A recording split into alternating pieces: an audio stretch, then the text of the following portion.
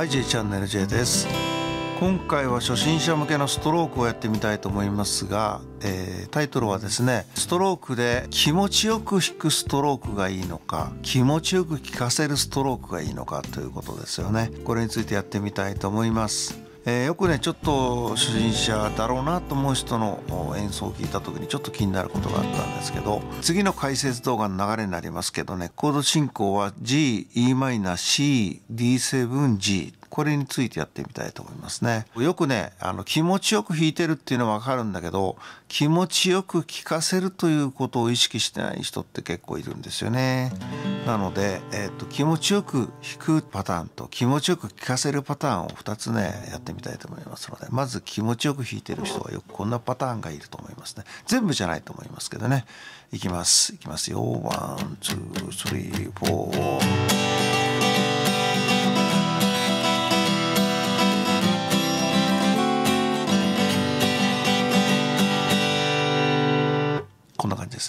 気持ちよく弾いてると思うんですけど。これ気持ちよく聴かせるタイプの方はやっていますね。 one two three four。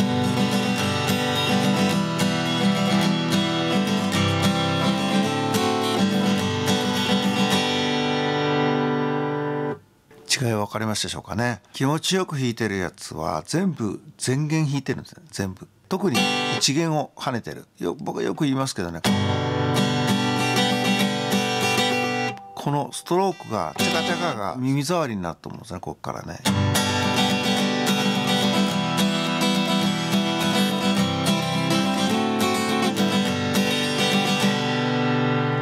こう押さえてると G の場合は6弦から1弦までまあね6弦5弦と1弦で全部これをこうやっちゃうとすごく気持ちよくは弾けるんですけど気持ちよく聞こえないんですよね。これをこの音をこの音をちょっとこう一弦はあんまり弾かないようにするとちょっとあの聞きやすくなってくるんですよね。いきますよ。なので感覚的な話なんですけど弦を押さえたら全部弾かなきゃいけないと思ってる人がいるんですけどそんなことはないんですよ。全部弾かなくても和音は3音4音あれば成立しますのでここ全部弾かなくてもこれを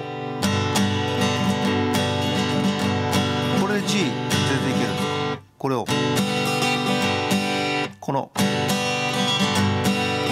これをこれをねここここ。ここがねかなりちょっとこうもたついてるという感じですよね。それを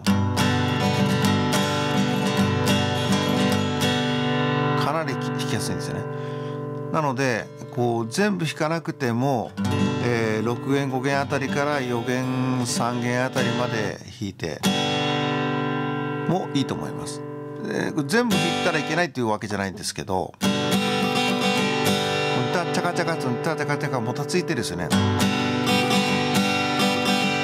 ちょっと早くやってもこうどうしても一弦がこう聞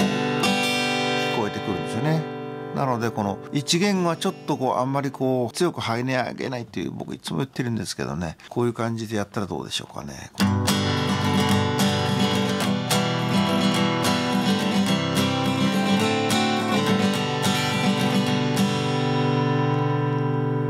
あまりね一弦は意識して弾いてないんですよ。D になったらどうしても弾かなきゃいけないんですけど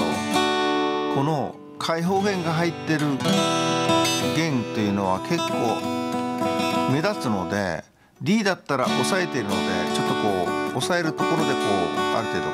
うコントロールできるんですけどこういう感じの弦に関してはなかなか難しいのであんまり強く跳ね上げないということとあんまりこう弾かないというそうすると気持ちよくじゃんじゃが弾きたい気持ちは分かるんですが聞いてる音としてはちょっとこううるさいのでこういう感じの練習したらどうでしょうかね。全部が全部もう弾かないでいいと思っていいんですよ。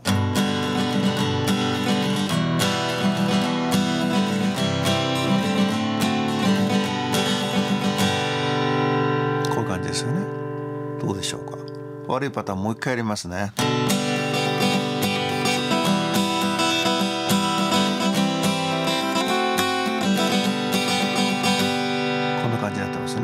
これをこう低音部分だけ。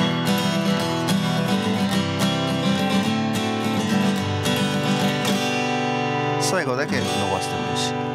こういう感じの意識するだけでも全然こう上達、うん、うまく聞こえるんですよね。だから結局は気持ちよく弾くじゃなくてうまく聞かせるようにすればうまくなったっていう感じがすると思うんですよね。どうでしょうか。まあそれこれ僕の言うのが全部正しいとは言いませんけれどやっぱり録音してみてうんちょっとこううるさいなと思ったらやっぱりちょっと人もうるさいなと思ってるんです。それが気づかない人が多いんですよね。だから気づいてくれてそれをやってくれるとその仲良くなったっていう感じがするんですけどね。どうでしょうかね参考になればいいと思います。参考になりましたら是非ねチャンネル登録をしながらね練習してみてください。